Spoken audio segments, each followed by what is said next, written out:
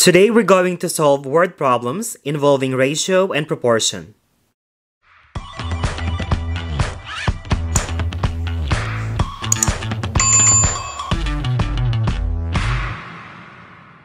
Gani traveled to New York to visit the Statue of Liberty. Gani is 6 feet tall and his shadow is 5 feet long. At the same time of day, the statue's shadow is 255 feet long. What is the height of the Statue of Liberty from the base of the pedestal to the tip of the torch? Give it a try and play the video whenever you're ready for the solutions.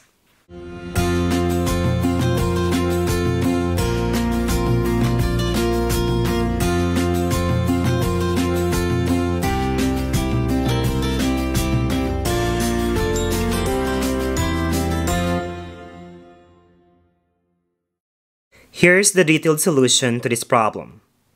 In this problem, we know that Gani is 6 feet tall and his shadow is 5 feet. Also, we're given that the shadow of the statue is 255 feet long. And the problem is asking for the height of the Statue of Liberty. In solving word problems like this, we need to set up first the equation using ratio and proportion. So this problem involves height and shadow. So we will use the fraction height over shadow.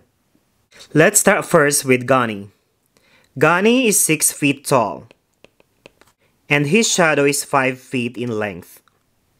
Since the problem happened at the same time, the ratio of the height and the shadow of the person and the building should be equal.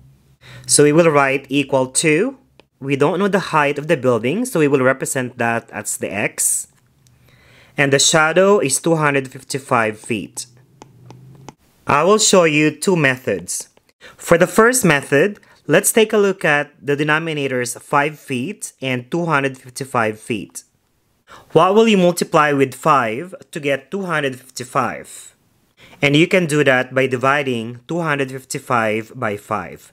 And this is times 51. When you multiply 5 times 51, that is equal to 255. So since for the denominator, we multiply the first fraction by 51, the same thing should happen for the numerator. So this means we also need to multiply 6 by 51 to get the value of x. And 51 times 6 is 306. So this means that the height of the statue is 306 feet. And now for our method number two. Solving this ratio and proportion, we can simply cross multiply, which means we need to multiply 5 times x, which is 5x. And we also need to multiply 6 times 255.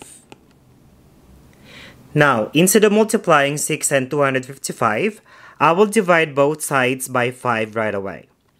5 divided by 5 is 1, so we have 1x. And now I can mentally simplify 255 divided by 5. 25 divided by 5 is 5. 5 divided by 5 is 1. So now I can simply multiply 6 times 51, which is 306. So the value of x is 306 feet. And this is a valid answer. The actual height of the Statue of Liberty is 305 feet and 6 inches. Thank you for watching and please consider subscribing to my channel at Celzo Academy.